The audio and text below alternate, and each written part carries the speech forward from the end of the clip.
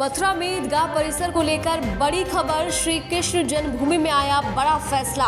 Allahabad high court ने सर्वे commission को मंजूरी दे दी है। हाईकोर्ट ने सर्वे के लिए आयोग को मंजूरी दी।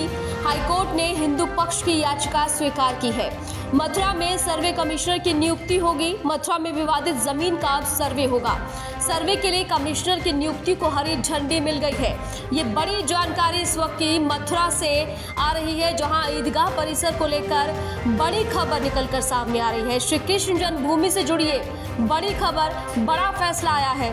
इलाहाबाद हाई कोर्ट ने सर्वे कमीशन को मंजूरी दे दी है। अब सर्वे के लिए आयोग को मंजूरी मिल गई है। हाईकोर्ट ने हिंदू पक्ष की याचिका स्वीकार कर ली है। अब मथुरा में सर्वे कमिश्नर की नियुक्ति की जाएगी। मथुरा में विवादित ज़मीन का सर्वे होगा।